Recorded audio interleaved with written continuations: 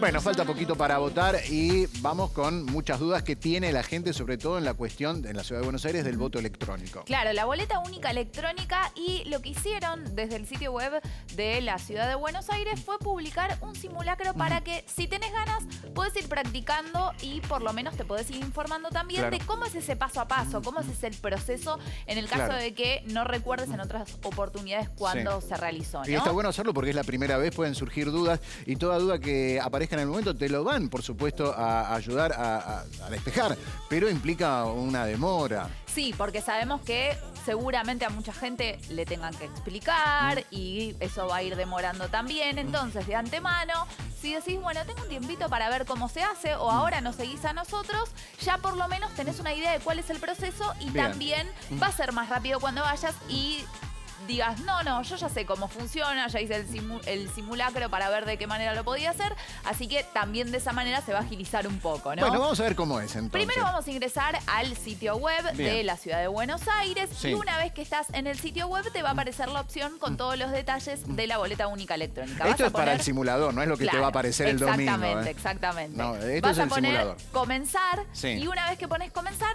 te va a empezar a explicar Mm. cómo es este proceso. Entonces, vas ahí donde dice comenzar y en la siguiente Mm. imagen te va a aparecer y te va a explicar cuál es, eh, primero, Mm.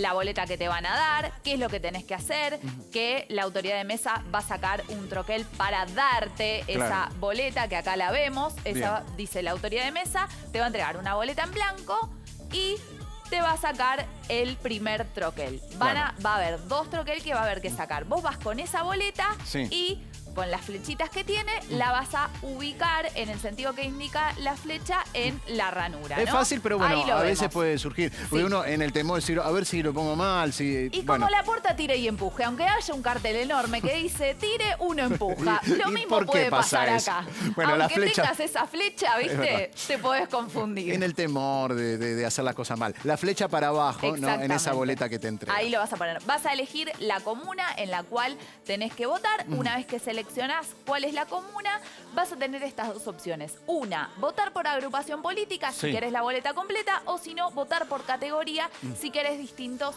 candidatos de diferentes eh, agrupaciones Lo que sería cortar la boleta en lo físico, digamos. Cortar En lo boleta. tradicional sería cortar boleta. vas a votar por categoría. Seleccionas cualquiera de los dos. En este caso, yo puse por agrupación política. Este es el simulacro, por eso lo ves así.